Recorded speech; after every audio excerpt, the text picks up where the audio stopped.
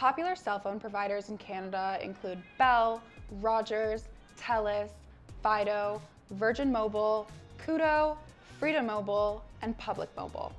To set up your account, you'll need a government issued photo ID and proof of address. So what are the best plans for calling long distance? You can always go the calling card route. These are telephone credits that you can use to call anywhere in the world.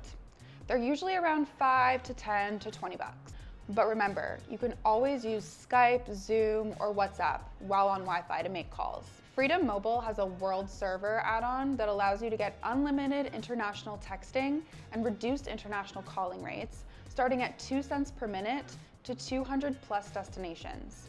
For inexpensive providers that have unlimited international texting, you'll want to go with Public Mobile or Koodo. Don't be afraid to call around or visit a kiosk until you find the right fit for you.